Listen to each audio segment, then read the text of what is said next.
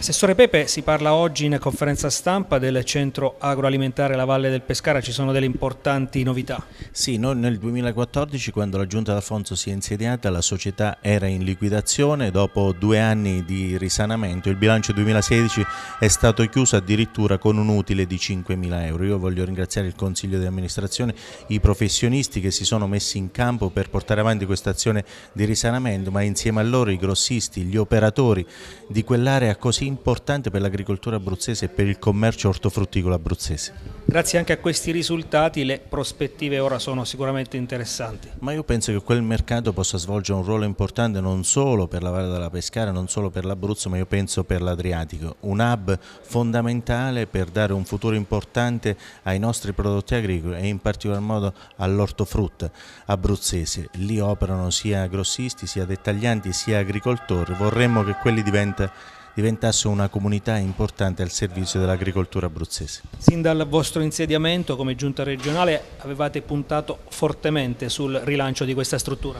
Sì, sono stati due anni molto impegnativi, siamo usciti innanzitutto dalla liquidazione, la società è stata portata in eh, bonis e poi dopo una serie di interventi con il comune, con l'erario, con le banche, con i fornitori, attualmente abbiamo un'azione assolutamente sostenibile. Abbiamo ripreso tanti servizi che prima erano in capo ad altre società e attualmente abbiamo impiegato nove persone.